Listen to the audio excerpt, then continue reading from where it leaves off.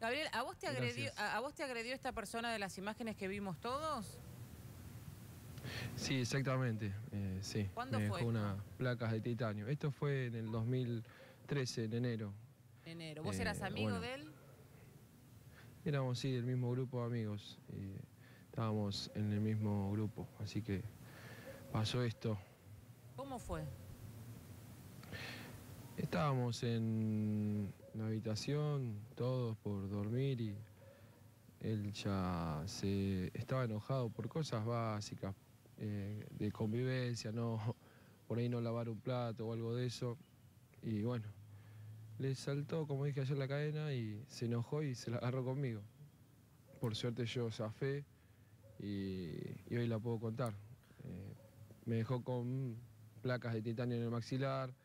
eh, y bueno, después todo, pasé por un cuadro de depresión que lo pude superar, pero hasta el día de hoy, al ver lo que le pasó eh, al Señor, me lo reviví.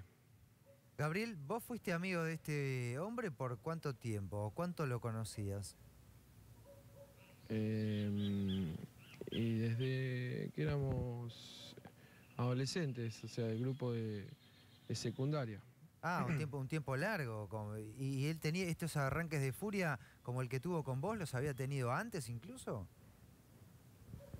Eh, sí, en algunas que otras situaciones sí, pero no pasaban tanto a mayores. No, no, no, no- siempre tenía algún comportamiento, eh, digamos, agresivo. Yo siempre tendría que andarlo calmando o algo. Siempre depositando una cuota de fe en que podía cambiar.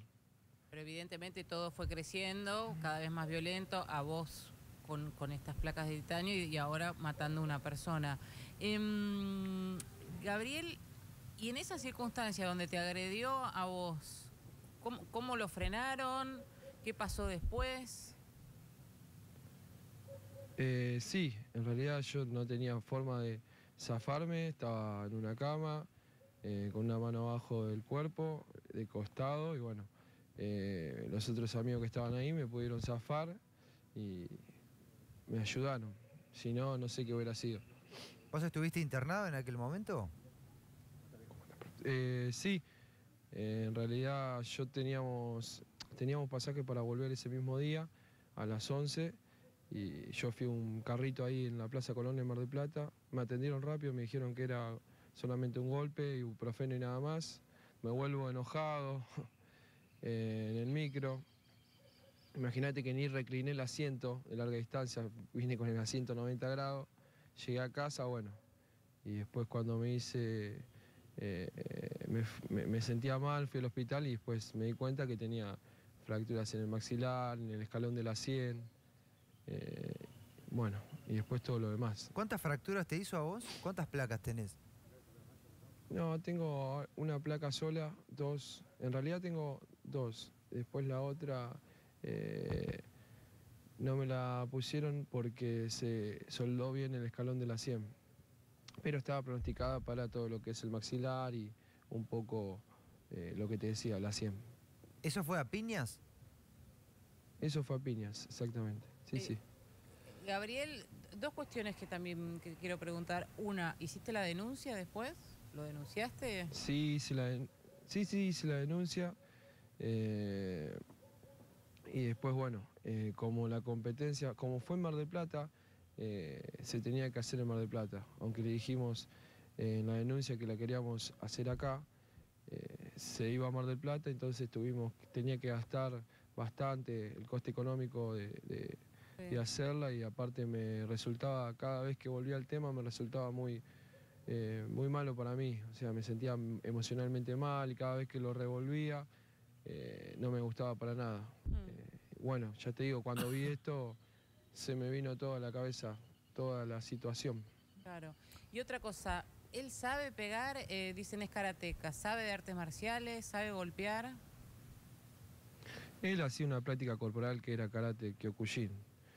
Eh, de ahí uno puede, pienso yo, hacerlo bien, eh, tener más énfasis o no, y después, bueno, eh, ¿qué hace uno con eso en la vida social?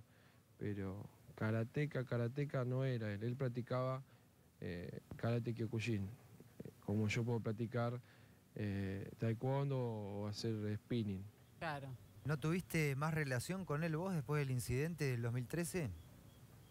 No, no, yo después no me hablé más.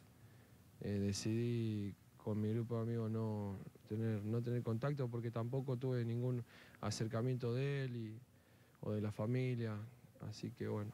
¿Se abrieron todos de él o te abriste vos del grupo? Sí, sí. No, no, no. Todo mi grupo de amigos.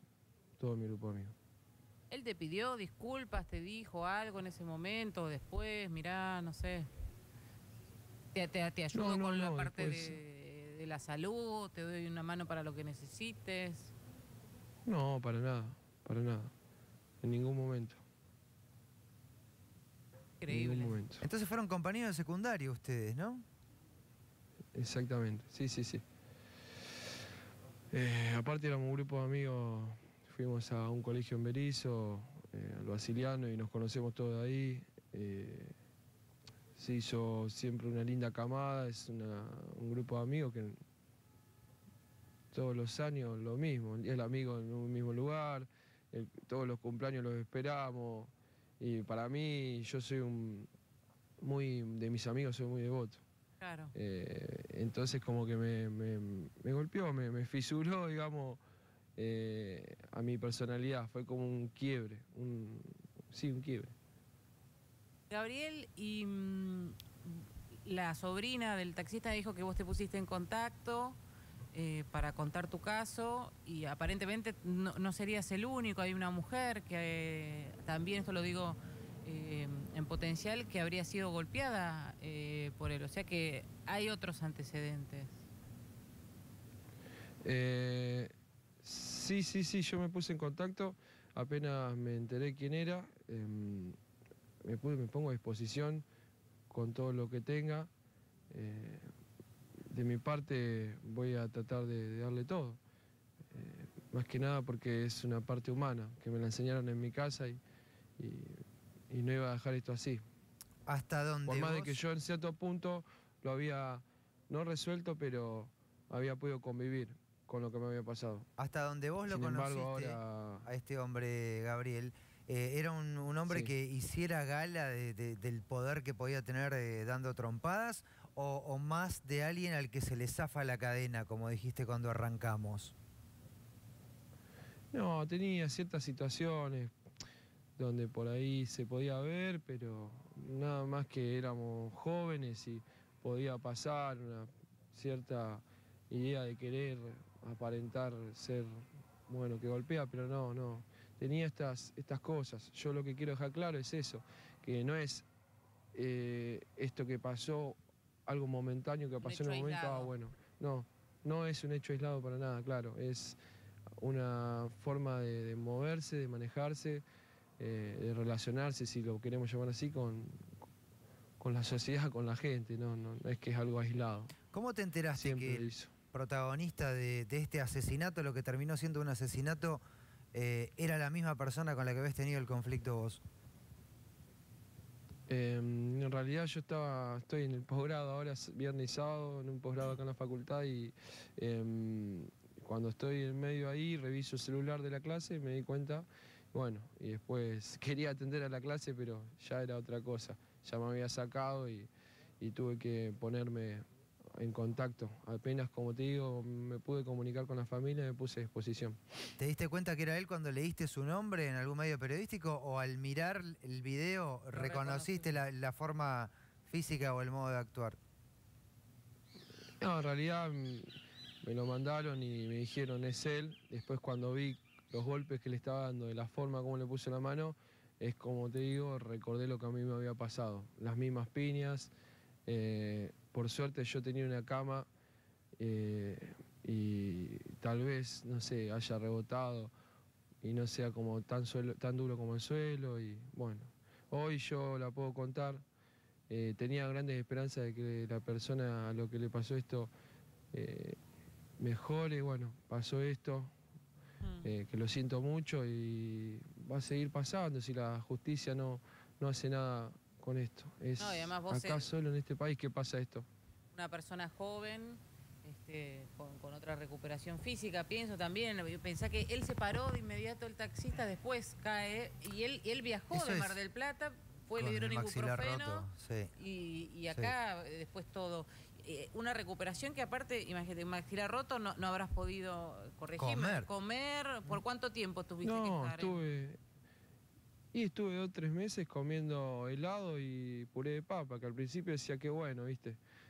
Comía helado, qué rico. Al cuarto día no quería comer más helado, ya te tiraba helado por la cabeza. Había un- una porción de pizza, se me caía.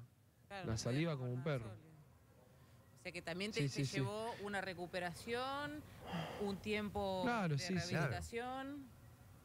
Sí, sí, sí. Volver a masticar y no solo lo físico, sino lo psicológico, ya No, te digo. En el, en el Yo- a caso de mí fue que- un quiebre para mí. En el caso de lo que está contando Gabriel, además que recién lo decías primero, que la- eh, me sorprende esto que estás contando, fueron las mismas piñas, es como una ejecución. Yo las conté, son ocho las que dan contra el asfalto. Que en tu caso tenías un colchón debajo, una cama que pudo amortiguar y además otro grupo de amigos que atajaron al, al, al tipo que estaba pegando, ¿no?